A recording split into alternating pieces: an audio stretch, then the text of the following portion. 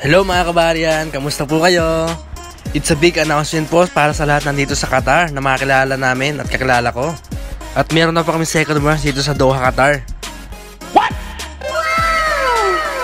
At last week nag-start kami ng preparation namin. Wow! At habang naginis nga kami, may nagpakita ng gilas. It's your song. Let's see that, but don't, don't, don't.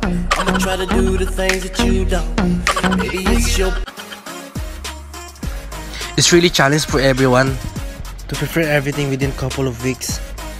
But for all of our hard work, dedication, especially teamwork, we did it.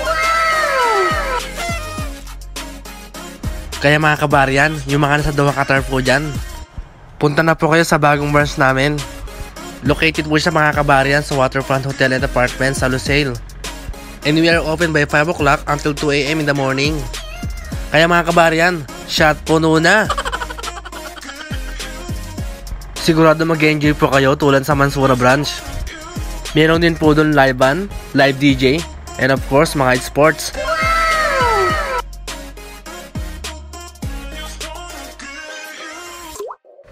At kahapon lang po kami ng soft opening mga kabaryan.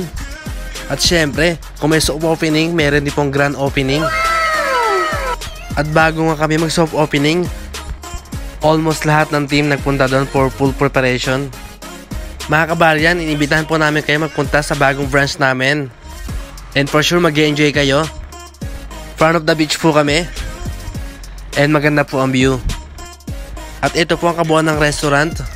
It's a British pub and restaurant and sports bar po ito mga kabaryan. Mga kabaryan, see you there! And that's it for today's vlog. Don't forget to follow my Facebook page and subscribe to my YouTube channel. Shukran!